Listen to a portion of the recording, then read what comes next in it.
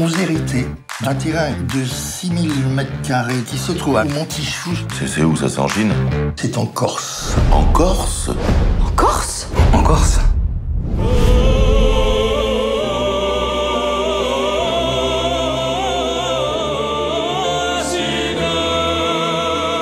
Oui, excusez-moi, monsieur, mais euh, nous sommes perdus. Je le dis tout le temps. Les continentaux, ils sont perdus. Non, c'est- en fait, le problème, c'est qu'on n'arrive pas à lire les panneaux, hein. Les panneaux, c'est comme des balances. Et nous, on n'aime pas les balances. On voudrait juste savoir si vous pouviez nous indiquer la route.